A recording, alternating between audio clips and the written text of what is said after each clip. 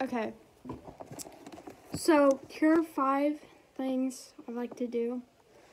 Um, I had to write them down because I was filming it last time, like, but I deleted this clip. I was standing there for like five minutes thinking about what five things I like to do. but yeah, the first thing I like to do is filming YouTube videos every week. Um, you know, doing this every Tuesday and Friday literally makes me happy.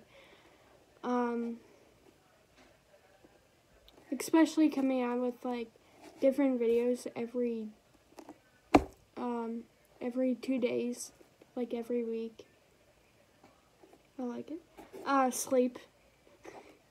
you know, the best part of the day is getting into your bed and just sleeping. Um, especially if you're on TikTok at 1 in the morning. That's why I look so tired. I forgot what time I got up. I think it was like 11 or something. I should have slept longer. uh, hanging out with my dog all the time. Uh, he just comes into my room randomly, especially at like 8 or 9 or whatever. And like in my acting class, I'm like, come in. you know. Um, making fan edits for like all my favorite YouTubers and actors and stuff. It's pretty cool. Um, going to Target.